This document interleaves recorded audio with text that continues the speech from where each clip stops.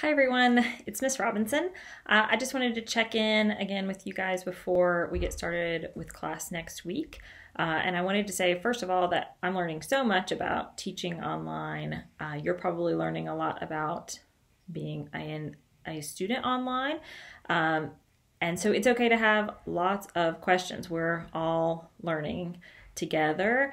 Um, if you have questions, just text me on Remind or email me and we'll try to work it out together because um, it's just new for everyone.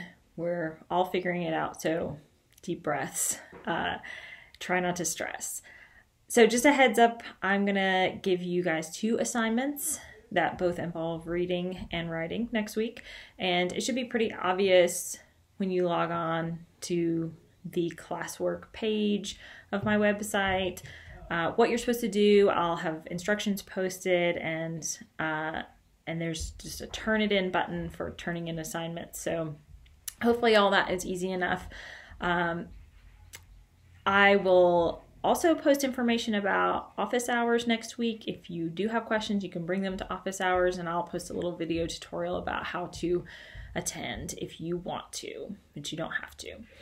Uh, in the meantime, you can sign up for Common Lit using the code I've posted below in the stream.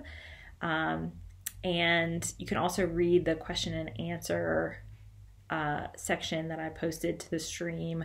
Those are answers to the questions that you guys had at the bottom of the survey that I assigned this week. Um, they were really good questions. Hopefully, I've answered them well enough, and uh, it'll like relieve some stress just to know those answers probably. Um, I think that's all for now. Uh, I hope you all have a really good weekend uh, and check back on Monday and we'll get started.